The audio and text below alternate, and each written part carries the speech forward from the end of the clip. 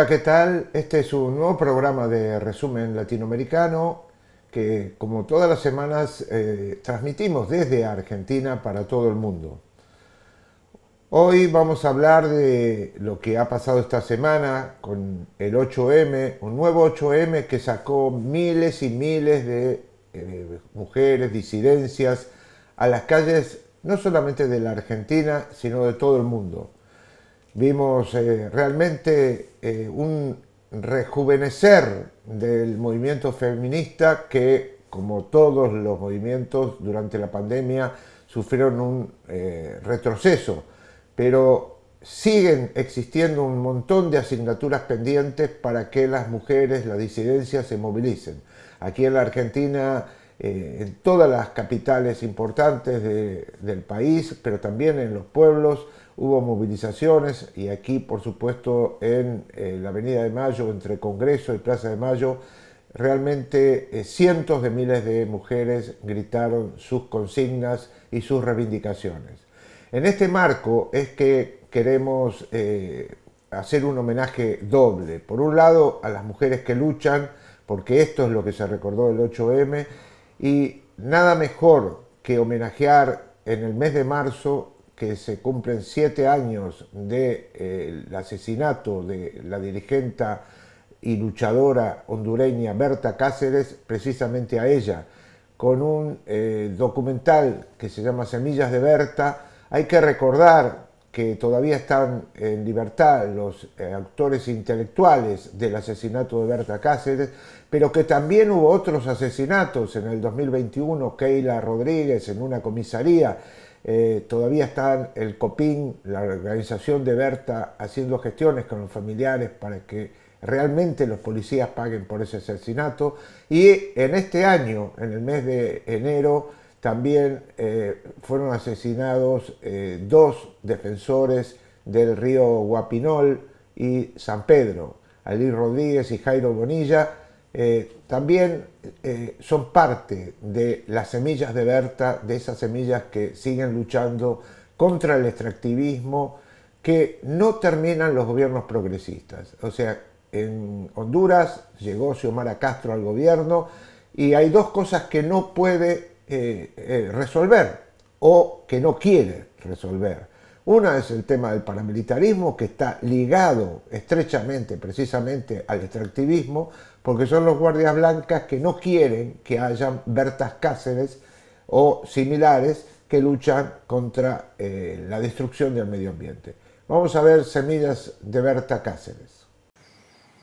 Cuando estaba yo trabajando en la habitación, escuché ruidos, pensé yo que era Berta, que estaba ahí en su casa, tumban la puerta de la, de la cocina los sicarios y automáticamente uno entra a mi habitación, patea la puerta y otro se va a la habitación de Berta. Escucho los disparos. Cuando el sicario ya se tiene que ir, él me dispara muy rápido y se va.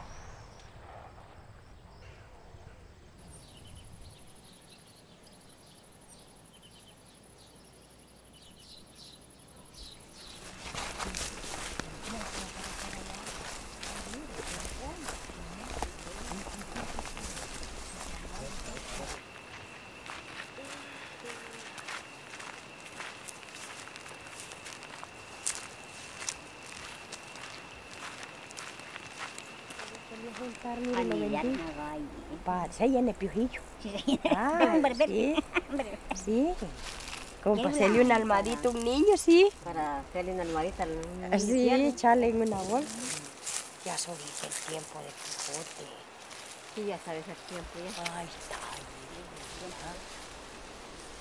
Espiritualmente el río es que es sagrado porque todavía está puro, porque todavía no está contaminado y es la vida para todo el ser humano para los animalitos que también toman el agua, porque allí hay animalitos guatusas, cuzucos, que se mantienen también del río.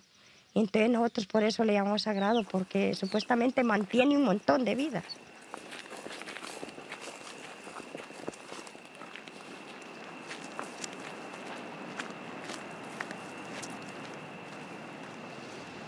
Cuando doña Berta, mire, se acuerda una vez que venía con don Salvador. Desde allí ellos ya vinieron y nos ponían acá los videos. Cuando salían, nos decían, ponían ellos comparaciones, decían, miren, ustedes y el día de mañana, decía ella, viene un proyecto de, de una represa aquí, decía, estarán de acuerdo ustedes a que, a que se haga.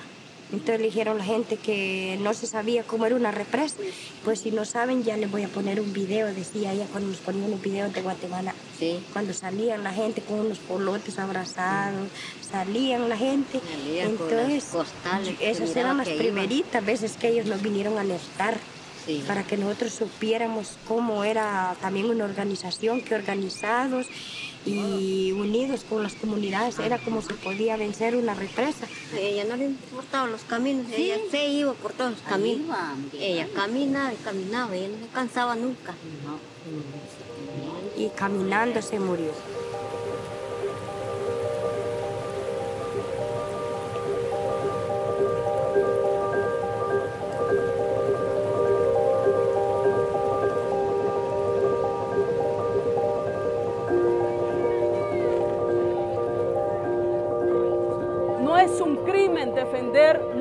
Propios derechos como pueblos indígenas.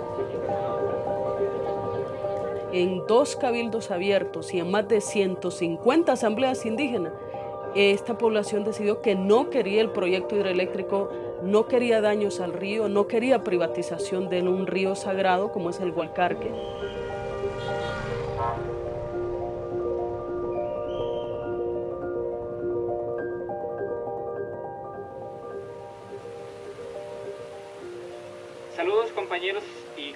Compañeras, amigas y amigos que nos están sintonizando a través de Radio Guarajambala y La Voz Lenca, a través de las frecuencias eh, moduladas de nuestras radios comunitarias, del Consejo Cívico de Organizaciones Populares e Indígenas de Honduras Copín.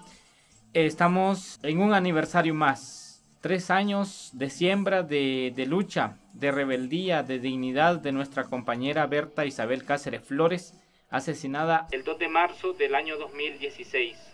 Así que compañeros y compañeras, aquí seguimos en pie de lucha, dando ese mensaje alentador a todo el pueblo que nos está sintonizando. Puede firmar, compa. Ya le dieron su. Bueno, el proyecto hidroeléctrico Aguasarca y la concesión al río Hualcarque es uno de los muchos de las muchas concesiones que se otorgaron posteriormente al golpe de Estado del año 2009, específicamente en el año 2010 se dio pues un combo de concesiones para empresas nacionales y algunas transnacionales. Bueno, DESA es una empresa eh, nacional que tiene eh, como digamos, accionista principal a una de las familias más importantes a nivel económico en el país, que forma parte de la oligarquía nacional, pero que también fue una de las familias que participaron del golpe de Estado. Eh, esta familia es la familia Tala Sabla, eh, que tiene pues muchas inversiones en, en bancos nacionales y transnacionales, también este, en empresas de construcción y en tiendas a nivel de Honduras.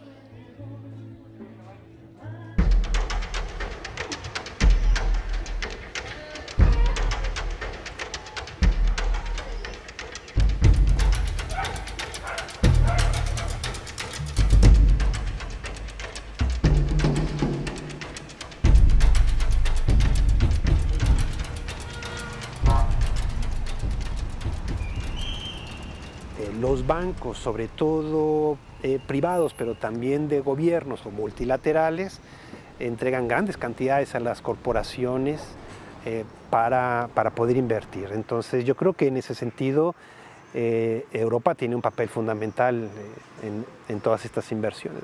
No se entiende ese proceso sin esa interrelación bancos, gobiernos y empresas. Y en el país receptor, un gobierno que de la misma manera facilita eh, y también legisla y flexibiliza para poder recibir en su territorio esas inversiones.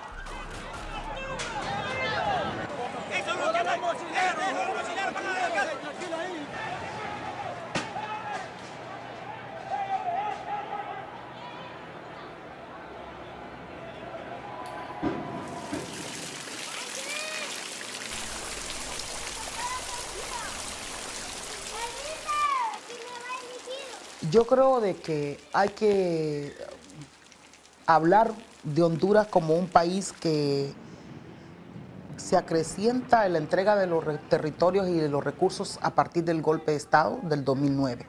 Yo no puedo hablar de Honduras y de lo que pasa ahora en Honduras en este momento si no analizamos lo que significa un país que se convirtió en un laboratorio político para destruir la institucionalidad, para generar las condiciones de lo que hoy es Honduras. En Honduras lo, sucede lo que ha pasado en la mayoría de los casos y es una práctica ya en América Latina y es que hoy día que hay una disputa por quién controla los recursos, me refiero al agua, al bosque, a todos los recursos del subsuelo y suelo. El inversionista, cualquiera que sea, es el que tiene el derecho. Es más, es que tienen un mapa de todos los recursos. Tienen mapa de todos los recursos, pero no mapa de los pueblos que viven ahí, que han coexistido por siglos.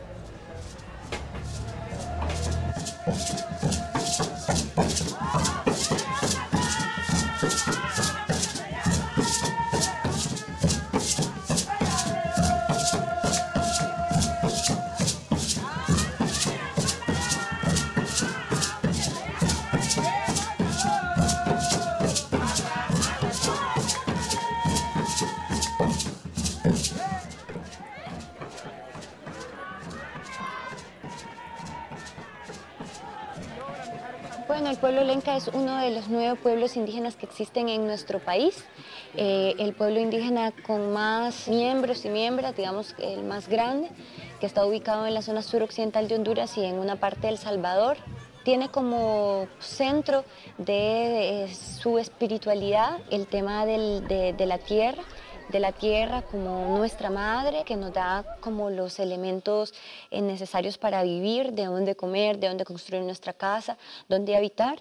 Eh, son obviamente pueblos que al igual que otros pueblos indígenas, eh, tienen relaciones de colectividad mucho más fuertes y bueno, uno de los pueblos, un pueblo rebelde, también de una historia rebelde que enfrentó la colonización española. Hoy por hoy, se está utilizando por parte del Estado y de muchos gobiernos una figura, sobre todo los países que han ratificado el convenio 169 de la IT sobre los derechos de los pueblos indígenas y tribales, una figura que se habla de la consulta. Y está totalmente manipulada, es una forma como lo están haciendo de una manera realmente terrible porque lo que hacen es que llegan a una comunidad y presentan cualquier tipo de proyecto y le sacan listado a la gente y le dicen a la gente ya les consultamos.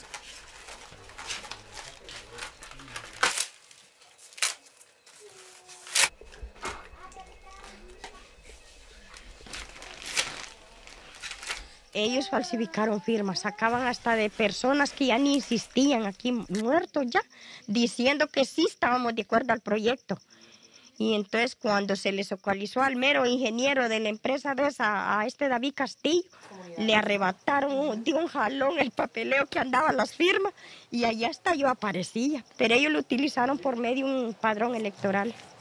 Por allí nos sacaron con número de identidad, mandando a otras personas de los que estaban a, a favor del proyecto. Ellos mismos usaban las firmas de nosotros.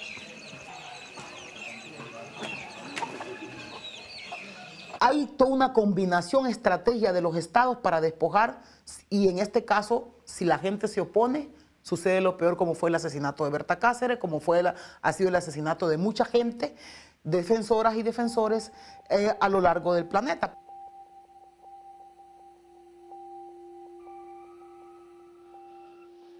El mismo patrón. Eh, uno, comprar, intentar comprar a las comunidades.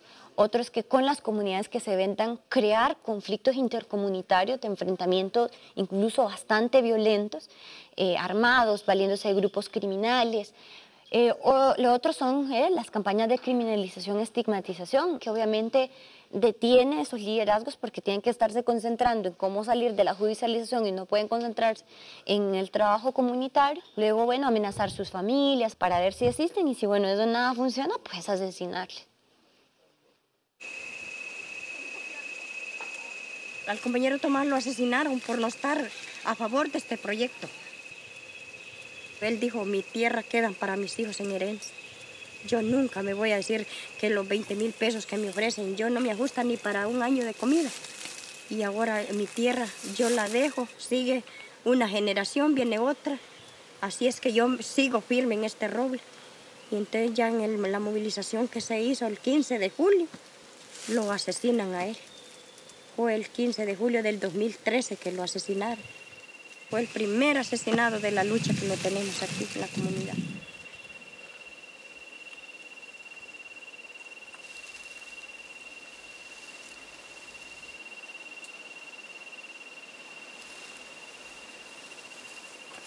La desarrolladora del proyecto inicial era una empresa china llamada Sinohidro que se retiró posteriormente del asesinato de Tomás García. Sin embargo, después de esa muerte y de que se había evidenciado a nivel internacional que era una empresa violenta, eh, pues participan eh, dos bancos europeos y un banco multilateral, que son el Banco de Desarrollo Holandés, el FMO, también el Banco eh, de Desarrollo Finlandés, FinFond, y este, el Banco Centroamericano de Integración Económica, que es un banco multilateral entre los que, digamos, España también tiene una inversión o acciones dentro de ese banco.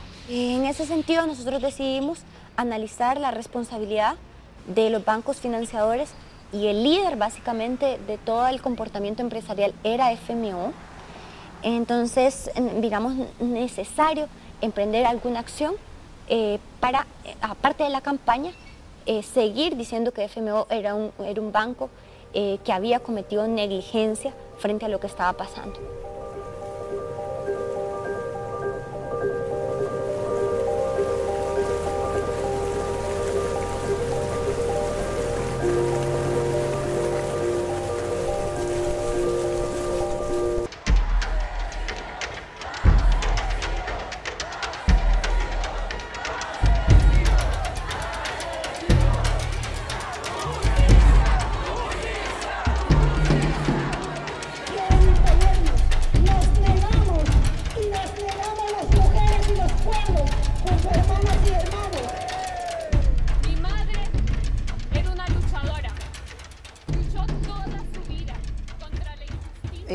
Una lideresa reconocida, una luchadora incansable. Venía, había veces a las 11 de la noche mojada, con sus botas llenas de lodo, mojada, empapada, y a las 6 de la mañana ya estaba trabajando. Mi mami fue eh, una luchadora desde muy joven, este, tuvo obviamente todo un proceso detrás de lo que fue su proyecto político, que es el COPIN. Eh, que le antecedió obviamente la participación en movimientos estudiantiles eh, y también en la lucha este, pues, revolucionaria de El Salvador. Eh, y digamos, esas fueron como procesos o escuelas que tuvo. Obviamente venía de una tradición de familia, luchadora, este, comprometida con las luchas de liberación en Centroamérica. Y en ese tiempo fue que vinieron los, los refugiados salvadoreños, especialmente las mujeres. A mí me toca atenderlas en varios partos y yo llevaba a Bertita para que me ayudara siempre con algún material. Y fue así que ella fue percibiendo también no solo el trabajo político, sino que el trabajo social y esa sensibilidad humana que ella tenía en la defensa de los más desposeídos. Eh, de los pueblos y que seamos los pueblos que tengamos la palabra. En esta defensa que tenemos del Hualcarque, ¿por qué esas empresas son capaces de mover comandos especiales antiterroristas como los comandos Tigres, la Policía Militar, la Policía Nacional, guardias de seguridad, sicarios, etc. Debe de haber algo más allá abajo que mueva todo ese poder. Eso queremos entenderlo de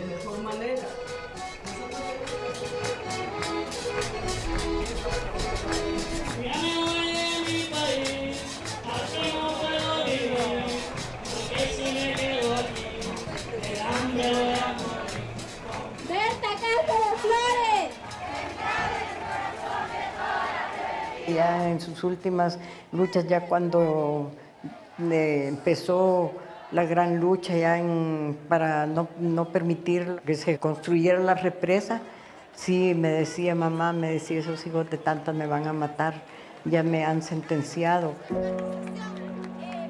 Por los espíritus de las niñas que nos enseñan que dar la vida de múltiples formas por la defensa de los ríos es dar la vida para el bien de la humanidad y de este planeta. Despertemos, despertemos humanidad, ya no hay tiempo. Nuestras conciencias serán sacudidas por el hecho de estar solo contemplando la autodestrucción basada en la depredación capitalista, racista y patriarcal. Construyamos entonces sociedades capaces de coexistir de manera justa, digna y por la vida. Juntémonos y sigamos con esperanza defendiendo y cuidando la sangre de la tierra y de sus espíritus.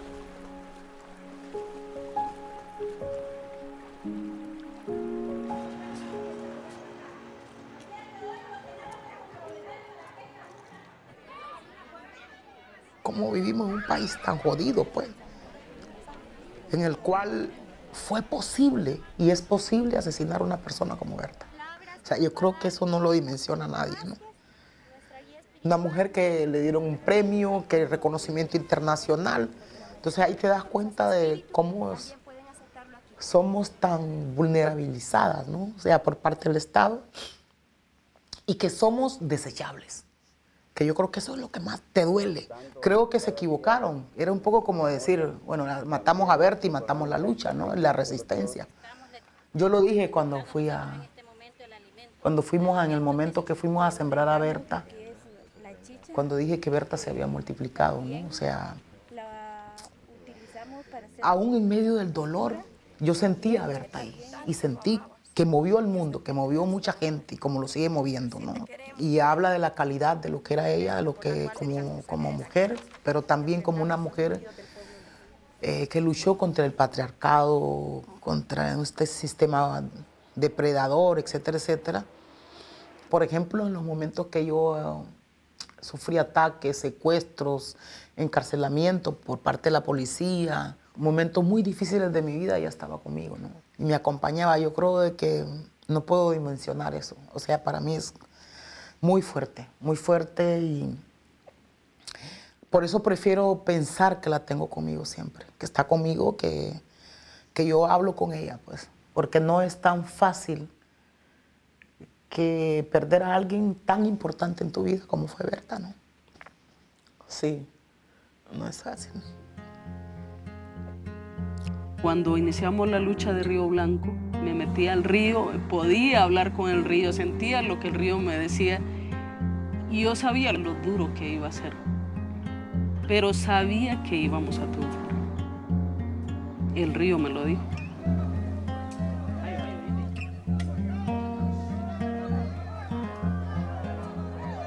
Con respecto a los mm, asesinos, eh, no estoy completamente satisfecha, puesto que únicamente los gatilleros, los que le ejecutaron, son los que están presos. Pero en cambio, los actores intelectuales, los que mandaron, los que pagaron, están en completa impunidad y tal vez sin posibilidades de, que llegues hasta ellos la justicia, porque son poderosos empresarios eh, millonarios con muchísimo dinero y están apoyados también por el imperio. Para nosotros los máximos responsables son algunos miembros de la familia Talasabla, que serán accionistas del proyecto y que fueron, digamos, eh, dentro de la estructura criminal, eh, digamos, el, el grupo de mando frente a la decisión de asesinar a Berta Cáceres. Esto, ¿verdad? Obviamente en clara vinculación con eh, estructuras estatales que por lo menos hasta ahora podemos determinar dieron la venia para que se cometiera su crimen. Entonces, eh, bueno, hasta ahora no se ha logrado determinar cómo, digamos, dentro de las estructuras militares se logró articular un plan eh, y eso es parte de la deuda que hoy existe. determinar también la omisión al deber de protección que tenían los funcionarios que de la Secretaría de Seguridad que supuestamente debían proteger la vía, pero que al mismo tiempo que, que supuestamente la están protegiendo, ellos están comunicando con miembros de DESA.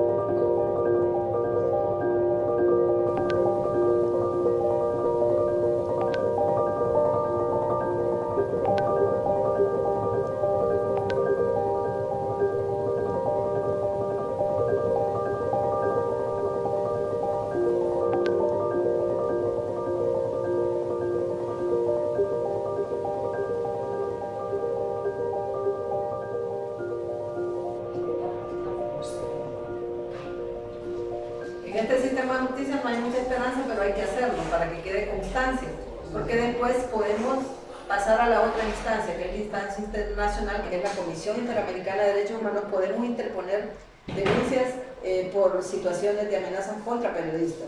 Desde el año 2015, en mayo, fue aprobado una, aprobada una ley de protección para periodistas, comunicadores sociales, defensores y defensoras de derechos humanos y operadores de justicia. Esta ley no fue aprobada porque el Estado se le antojó. La sociedad eh, civil organizada había venido presionando por una ley, pero diferente a la que tenemos ahora. El Estado ha copado todo. Eh, incluso, ¿quién implementa las medidas de protección? Las implementa la policía. ¿Y quién nos amenaza? Nos amenaza la policía, el ejército, los grupos estatales armados nos amenazan. Entonces, eh, ¿cómo es que le vamos a dar la zanahoria al conejo? ¿no? Ellos mismos que nos están atacando son los mismos que nos van a proteger. Quiere parecer un gobierno que ataca la corrupción, pero es un gobierno corrupto, que ataca el narcotráfico, pero es un gobierno involucrado en el narcotráfico. Eh, y que además protege los derechos humanos cuando ataca a los defensores y defensoras de derechos humanos y a los periodistas. Y quien eh, denuncia este tipo de cosas es perseguido. Entonces, pero creo que no debemos perder la esperanza y seguir construyendo ciudadanía, independientemente de lo que sea. Bueno, no nos van a matar a todos.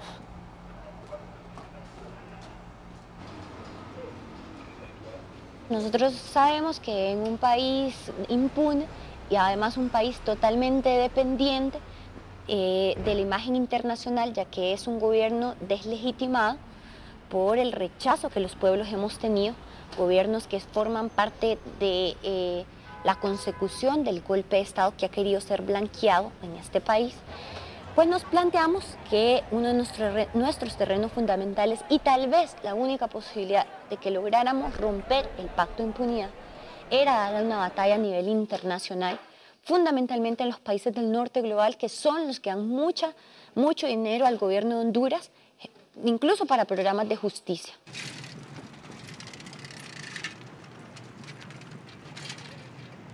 Hay varias organizaciones y grupos en Holanda que están involucrados con, con luchas en Honduras. Lo que pasó con el asesinato de Berta, que, que se juntaron. Eh, antes de eso creo que estaban trabajando más en sus propios temas, pero porque, por el choque que dio este, este asesinato y además por por la relación tan clara con, con nuestro propio país, los grupos se juntaron en, en, poner presión al FMO y también a nuestro gobierno. Ellos salen del proyecto a raíz de una campaña muy fuerte internacional por la salida de los bancos de una empresa que, de la que ya se sabía que habían personas detenidas. Salen un año, seis meses después eh, del asesinato de la compañera Berta Cáceres eh, nosotros determinamos, y producto del análisis de las comunicaciones, que el FMO tenía información suficiente para saber el conflicto que DESA había implementado eh, en la comunidad de Río Blanco y eh, también que em, DESA tenía problemas económicos y que fue el financiamiento internacional lo que permitió el desarrollo de acciones de violencia para implementar el proyecto hidroeléctrico por la fuerza.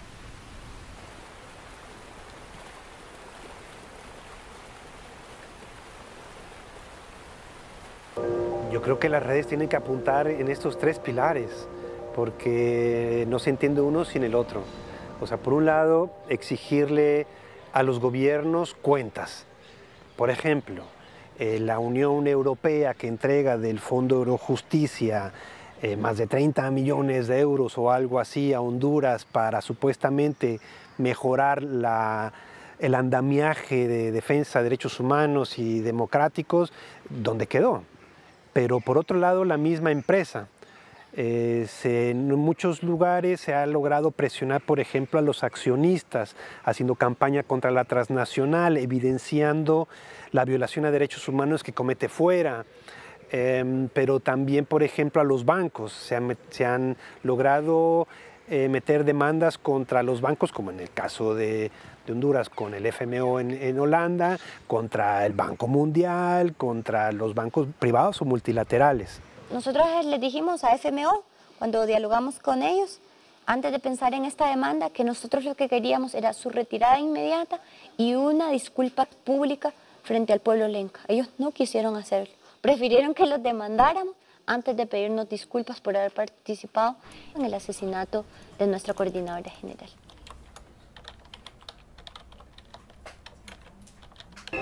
La presión ha sido tal que, bueno, pues ya no han tenido otra que decir, bueno, Naciones Unidas, hagamos un tratado vinculante. Que en este año las corporaciones y los gobiernos están tratando de boicotear. Es un tratado de Naciones Unidas en donde todas las corporaciones que violen derechos humanos en el sur sean penalizados. ¿Y qué tipo de derechos humanos? Porque se violan de todos. El derecho a la vida, cuando hay asesinatos y la gente dice, y el agua que me contaminan y nos quedamos enfermos de cáncer por la explotación minera y nos quitaron los derechos laborales y nos arruinaron la vivienda. O sea, derechos humanos son todos. ¿Cómo se legisla eso? Todos los gobiernos se están encontrando con que, ups, pues tenemos que decirle adiós a los tratados de libre comercio, porque esos son los que han flexibilizado todo para permitir que lleguen las transnacionales. Entonces es una lucha feroz, es una lucha importante que dar. Va a ser difícil, pero me parece que hay que hacerlo. A veces es un poco frustrante, ¿verdad? Porque se sabe perfectamente cuál es la razón, cuál es el origen, cuál es la causa, pero no damos ese paso para que las cosas cambien. Todo el mundo sabe de que las empresas que están expoliando, destruyendo los recursos naturales en el sur, son las que están basadas en el norte. Y además, esa destrucción que está haciendo en el norte, no, afecta en el sur, afecta al norte. Que eso todavía debería ser razón para que hagamos algo todos y todas en conjunto, porque la verdad que solo hay un planeta, no hay dos, ni tres. Es este que tenemos. Este es el que deberíamos de salvaguardar para las futuras generaciones.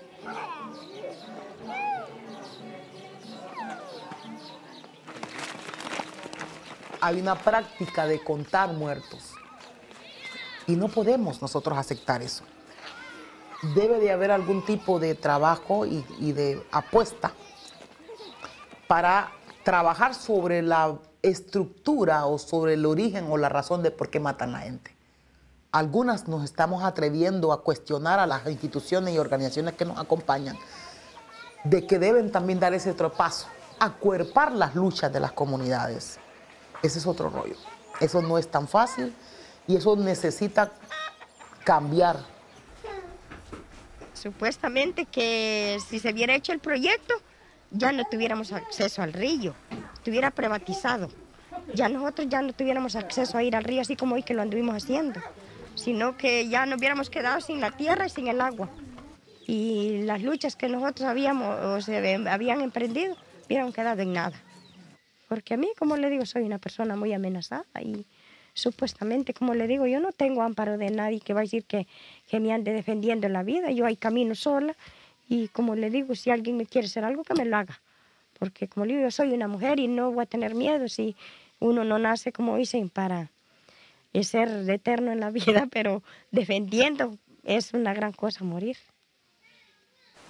Porque como este, decimos que la voz de la compañera Berta no ha terminado, que fue una semilla que ella sembró, que esto se ha multiplicado. Cada vez que yo siento que voy al río, yo siento que ella anda.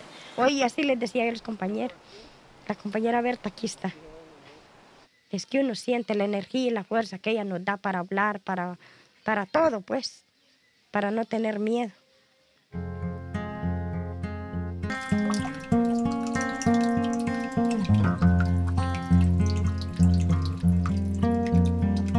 Y esto es todo por hoy. Nos despedimos hasta la próxima semana con más resumen latinoamericano.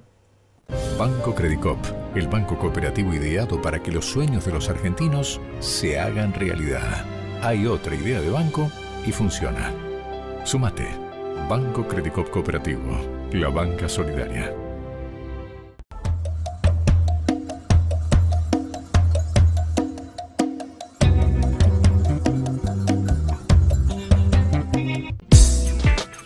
Sindicato de Visitadores Médicos, Asociación Agentes de Propaganda Médica de la República Argentina.